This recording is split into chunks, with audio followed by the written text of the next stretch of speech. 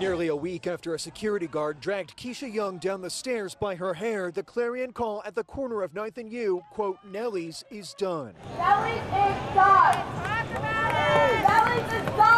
Nellie's is done. The landmark bar closed for the week, fired its security company, and apologized with a written statement. For Brittany, she said it didn't have to end like this. Instead of asking her politely, instead of escorting her and doing their jobs like security officers are supposed to do, they dragged her down by the braids. I'm here to try to make my voice heard personally and to join the movement to try to get some sort of accountability from Nellie's and the ownership. A demand made clear tonight, releasing all of the surveillance video recorded on Saturday. Release the tape. Release the tape. Release the tape. For now, the bar remains closed, yet if its doors open once again, all we spoke with said they'd be back to shut them for good. I'm proud of this city because I know DC is not a city that sits down and takes it. I hope that I can also count on my community, and I know seeing this that I can.